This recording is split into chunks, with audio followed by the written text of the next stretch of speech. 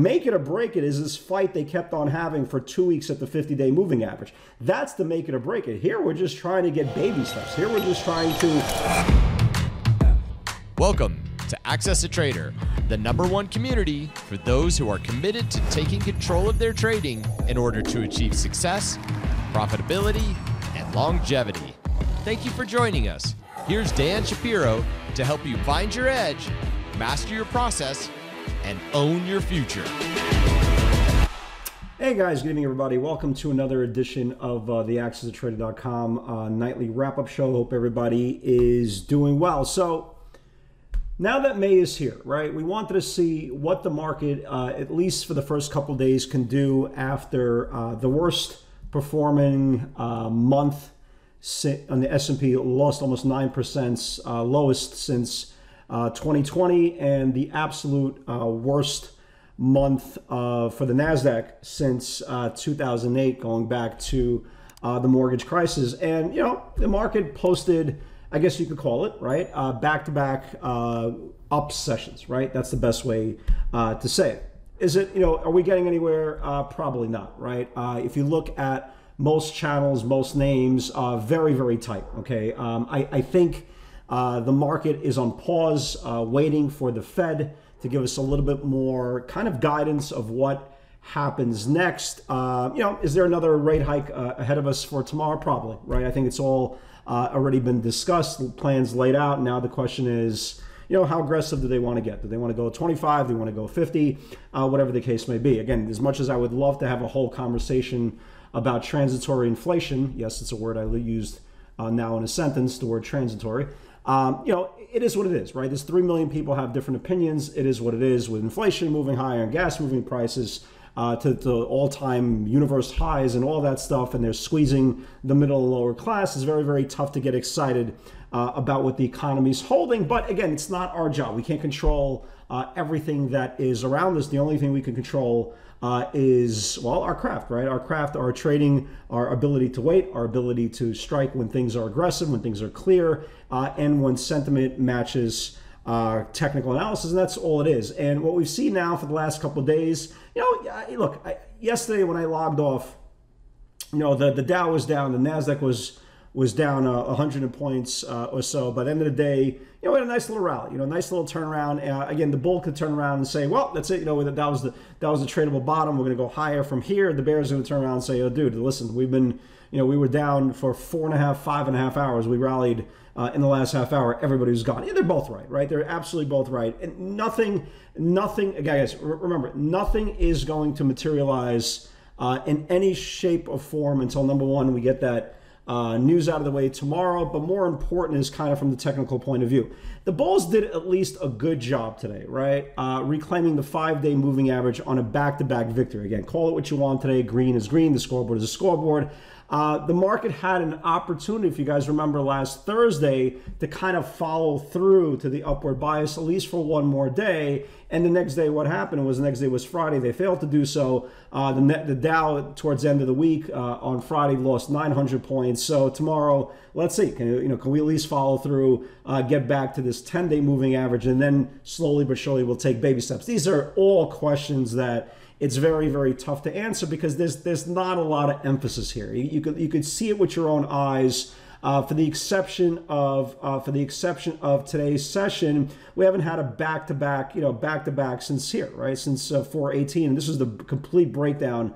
Uh, of this this Bollinger Band lower, so it's very very tough to get excited uh, one way or another. Most important is you, you got to look at it from the trading aspect point of view there are no breakouts, right? There, there are absolutely very, very few stocks in, in any aspect of the market. The S&P, again, you could turn around for the oil trade, like a name, for example, like an Oxy, right? And name, for example, like Oxy looks good, right? And then you, for you know, a bunch of oils, you can make a case, hey, they look okay. They're not really tradable. You have, they're investment vehicles. You, worst case, you buy them two, three days you, you use the previous day's low as you stop, but that they're not the darlings of Wall Street. It's technology, right? And the whole point of technology is two things are happening. Either stocks are way below their supply, and that pretty much goes for everything, or they're trying to get above supply, but there's just not enough room for them to go on this gargantuan gangbuster run because there's no emphasis. People don't believe this, and there's a good reason they don't believe this because well, we're uh, way below supply. When you look at that's just on the cues. When you look at the spies as well, right?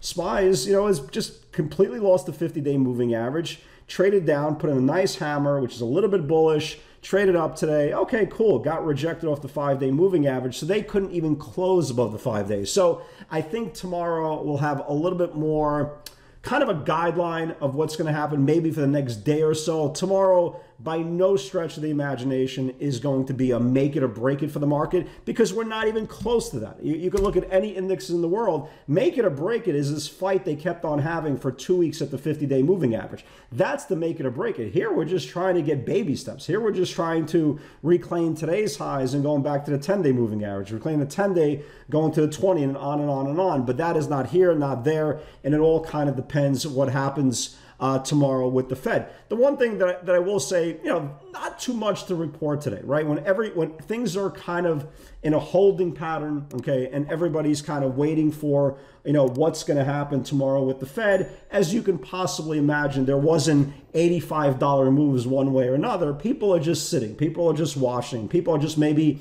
uh, even positioning, even uh, even the options market today it was pretty quiet, and that is again understandable. Was there you know was there pivots for us to take advantage of? Only a couple, right? Literally only a couple. Uh, one of them is obviously the greatest stock in the world, and this is again when we talk about how why option flow is so duper super duper important when it comes to uh, facilitating a possible confirmation. It gives you a guideline where the institutional money flow is going, but other than that, there's really not a lot to talk about uh, for today's session. Uh, after the close, you got a mixed bag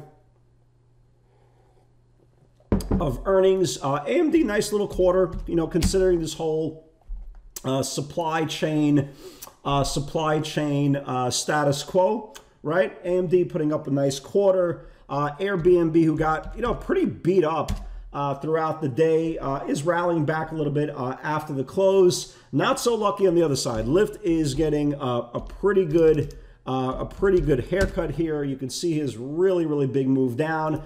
Uh, Match.com, apparently my Tinder account has been suspended because I, I just don't understand. The stock is is going lower. But more important is, again, you can see the structural balance. Not here, not there. Nobody's really predicting, nobody's really making a point of reference of emphasis which way we're going to go next. Again, for me, I don't need to guess, right? We don't need to try to figure out what's going to happen, you know, what's going to happen a month from now, a year from now. The only thing we care about is what happens tomorrow, right? And again, you could continue to continue to use the word sell bias, sell bias, sell bias until we at least start reclaiming the 10 day moving average and have a tradable, at least have a tradable little bit rally back to the 20 day supply. But as of right now, status is quo. It doesn't make a difference. The market's up a little bit today, the market's down a little bit today. The matter of fact is stocks were contracting the channels. There wasn't any emphasis, like I mentioned before. The options market wasn't screaming, this is going to go this way, this is going to go that way. We're just pretty much in a holding pattern, uh, waiting for tomorrow. And again, that's the discipline, right? You, you, you only trade when you get value, you only trade when you have clear channels. And this morning,